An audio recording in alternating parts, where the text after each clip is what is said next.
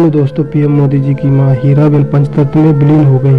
हीराबेन का अंतिम संस्कार गांधी नगर के एक शमशान घाट में किया गया। पीएम मोदी और उनके भाइयों ने हीराबेन को मुखाग्नि दी। इससे पहले पीएम मोदी ने अपनी माँ के पार्थिव शरीर को कंधा भी दिया है। प्रधानमंत्री श्री नरेंद्र मोदी जी की माता जी आदरणीय श्रीमती हीराबेन मोदी जी का निधन अत्यंत दुखद है।